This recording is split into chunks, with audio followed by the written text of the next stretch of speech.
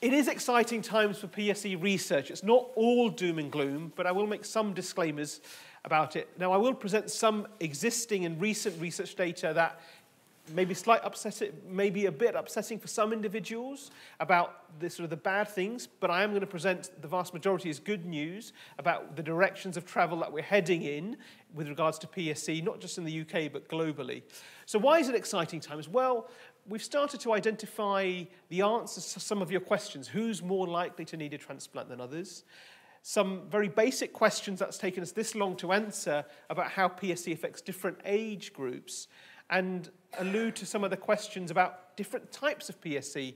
PSC that's sort of the small duct variety, PSC that's overlapping with features of autoimmune hepatitis, and somebody talked about Crohn's disease in PSC versus Crohn, uh, ulcerative colitis in PSC, and we're starting to understand those differences in a more clearer way.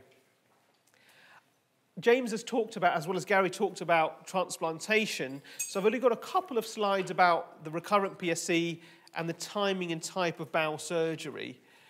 And the, uh, there are some more basic, sort of basic science developments about why do people with colitis uh, of any sort, be it Crohn's colitis, ulcerative colitis, get PSC. And some, uh, some really exciting work about differentiating cancer in the bile ducts with PSC and bowel cancer without the aid of colonoscopy, which will be absolutely fantastic if it comes off.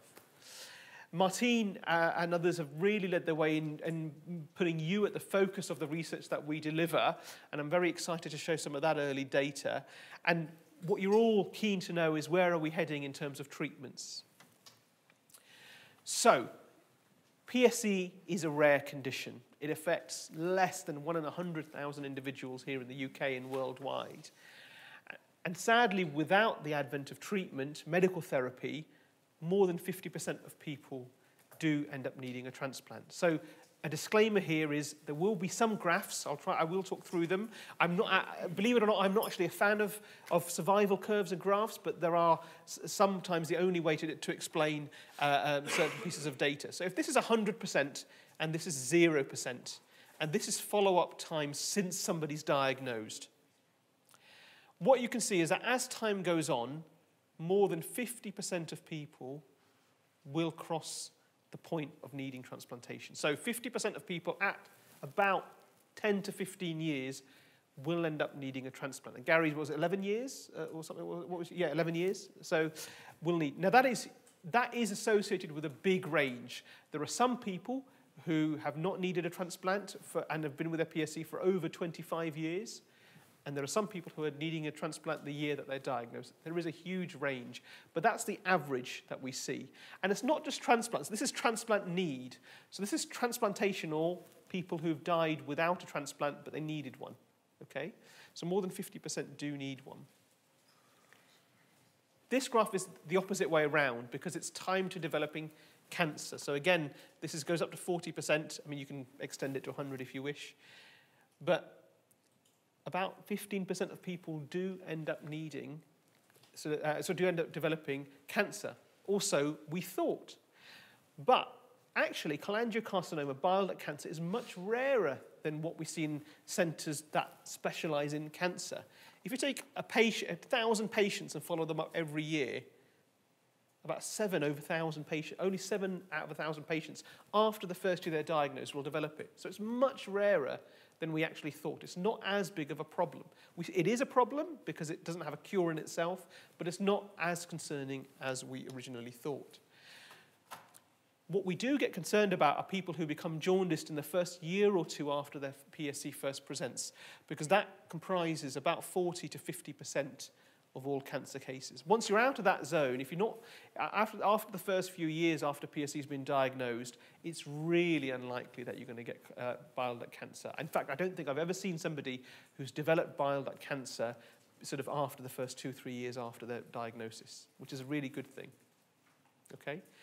The people that we get concerned about with bile duct cancer are those who, yes, have inflammatory bowel disease, because that is a risk factor in itself, but who have jaundice presentations and they've just been diagnosed with PSC.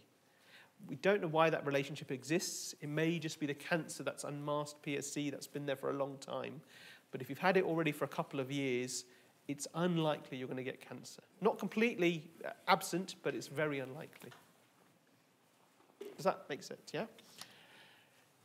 Now, this sort of spirograph, spaghetti junction type graph is, is sort of was drawn to illustrate a point. PSC is related to some of, uh, to other autoimmune liver conditions.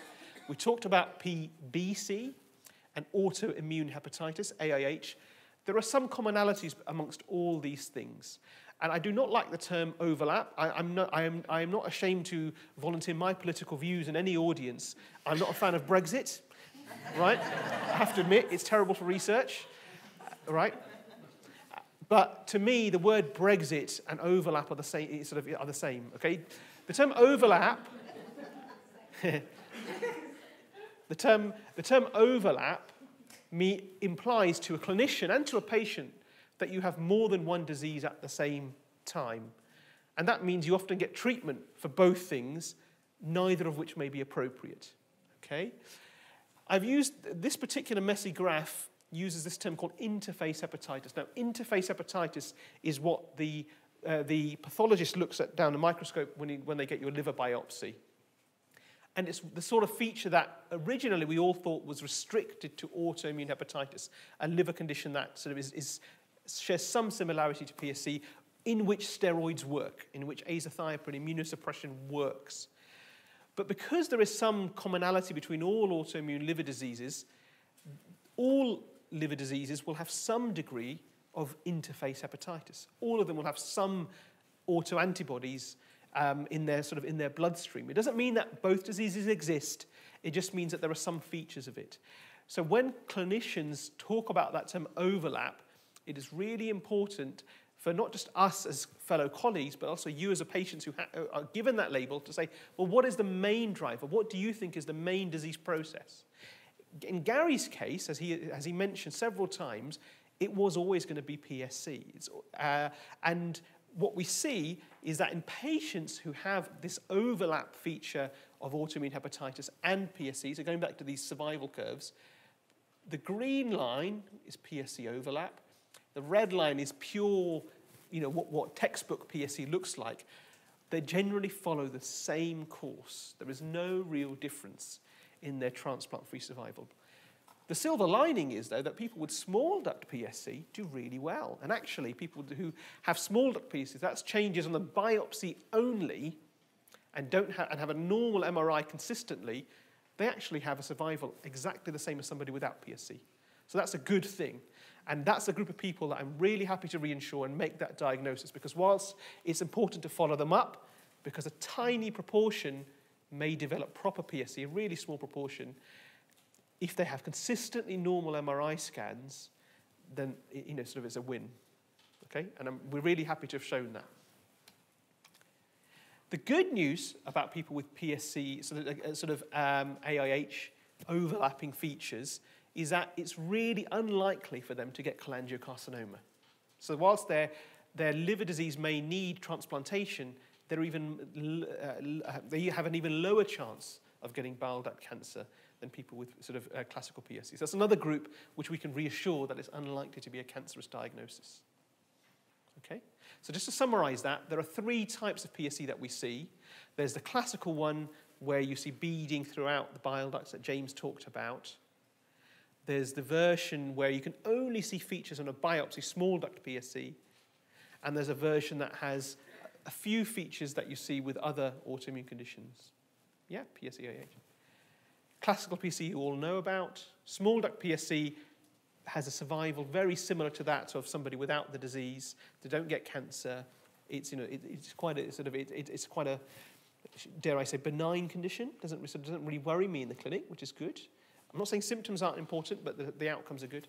And PSC-AH overlap may still need transplant at the same rate as PSC on its own, but rarely is, do we worry about cancer.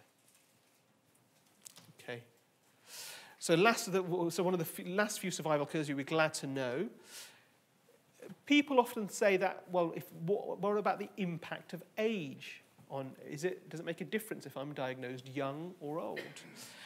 So when we look at our 7,000 patient experience across the world, surprise, no surprises here, the older somebody is, the more likely they are to die. But that's the same in any form of health.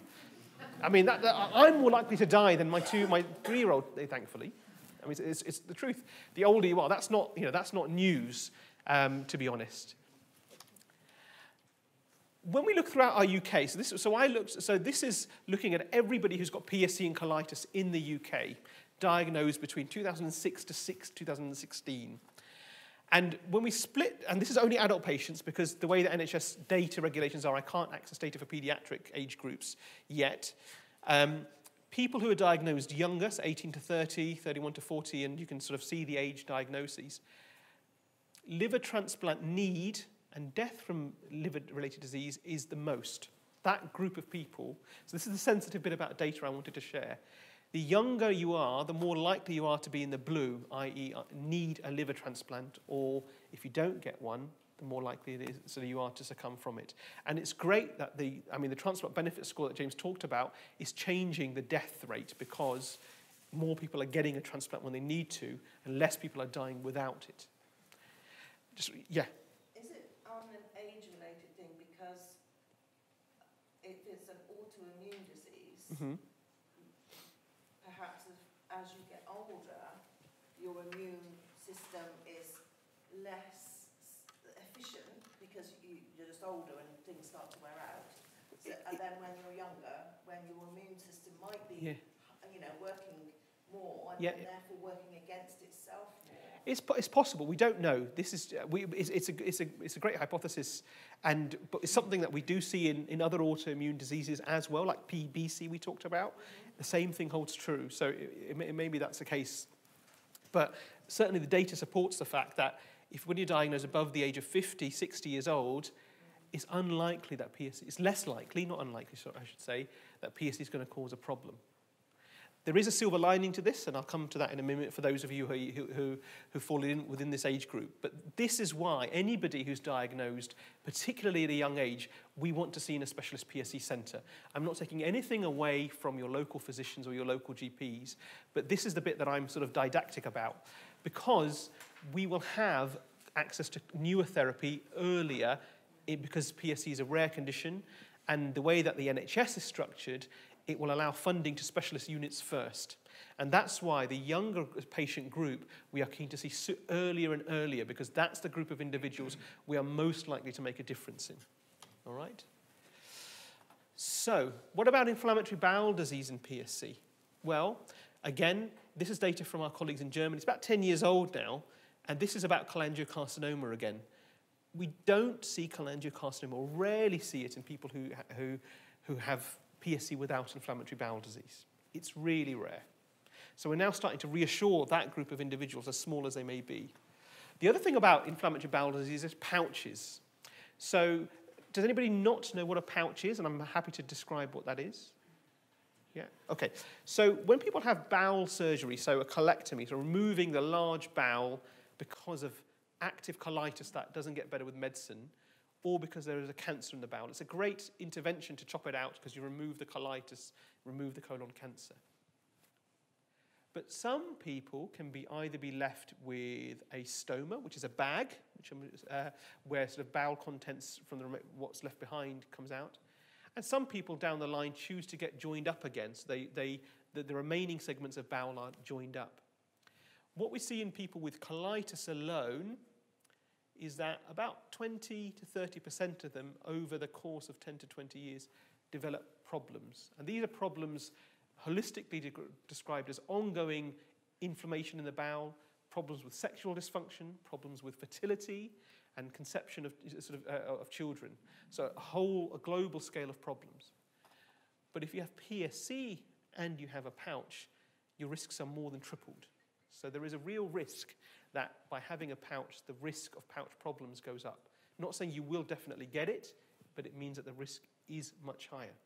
The saving grace, though, is that people who have an ileostomy and keep that bag, they actually have a much better run. And in fact, we've seen several people whose liver disease has stopped in its tracks when, we just, when, they, when we fit them with an ileostomy. But when we connect, and when we have people who have a pouch and they decide, actually, can you separate it out again because my quality of life is terrible, again, their quality of life improves dramatically when that happens. So the take-home message is, if you have PSC and you have colitis that needs bowel surgery, have a very good discussion with your surgeon and with your liver and gastroenterology consultants about whether the pouch is actually the right thing for you or not. Because certainly in our experience here and that of elsewhere, the outcomes of patients, the quality of life of patients, and certainly the liver disease trajectory is much better if you keep the bag rather than be joined up again. Okay? What about after transplantation? Let's forward on to, we've talked about this before. James talked about the, the timing of bowel surgery. So people who have bowel surgery before their transplant are much less likely to develop recurrent disease than those who either keep their, their colon in or have it removed after. Again, it's probability, not an absolute thing. Um, but what we do see is people who have pouches, they lose their grafts much quicker. About 20% of people with pouches will lose their liver transplant. But those who have an ileostomy um, do really well. Um, now, and, and those who have got their colon inside and where it's all quiet do really well. But those who have persistent active disease, so do badly.